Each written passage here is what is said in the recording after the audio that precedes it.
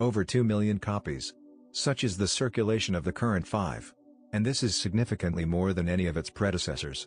What is the secret of such an impressive popularity?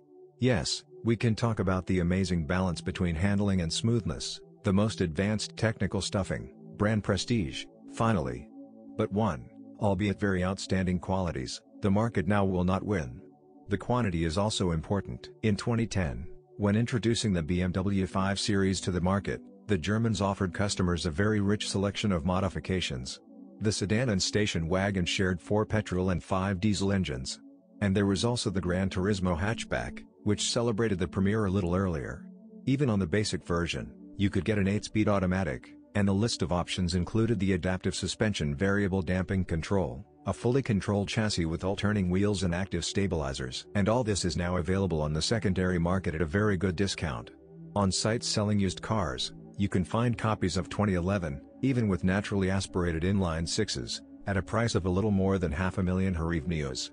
Such proposals are not uncommon, and there are many hunters to partake of the legend. Their similar questions about the reliability of the car with enviable regularity appear on club forums. But the answers of the owners and the comments of the workers of the service stations are very diverse. Someone writes that during the three years of operation, he changed only oil and pads with brake discs on his 5, while others lay out whole sheets with a list of replacements carried out during the warranty period. It's rare to find a car that has so many conflicting reviews. At the same time, it is worth recognizing that the sources of the 5th series mentioned on the forums are more related to versions released before the 2013 restyling. We are not talking about the chrome of decorative elements peeling off our road salt or the glitches of the infotainment system. Such minor troubles haunt the car throughout its years of production. Does not depend on the date of birth and the mileage of the steering tips and front stabilizer struts. The considerable weight of the car itself, active drive and in some places flawed asphalt, together, soon enough deal with the details of a finely tuned chassis. But the corrosion of both the air conditioner radiator and its tubes is information from the diagnosis of pre-styling machines. In the same place we will find about stretching timing chains, dying high-pressure fuel pumps and turbochargers of diesel engines. Gasoline units have a weak link, ignition coils, the life cycle of which was sometimes shorter than the intervals between maintenance.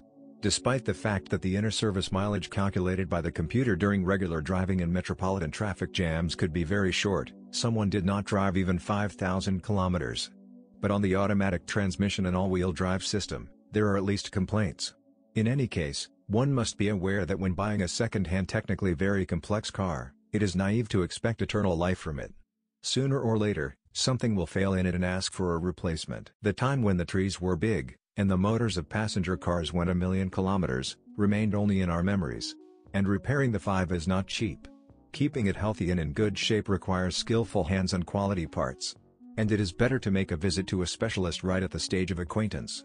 Diagnostics and a proven service with qualified personnel will help weed out candidates with poor health, whose service life is already at the limit. Another tip is less frills.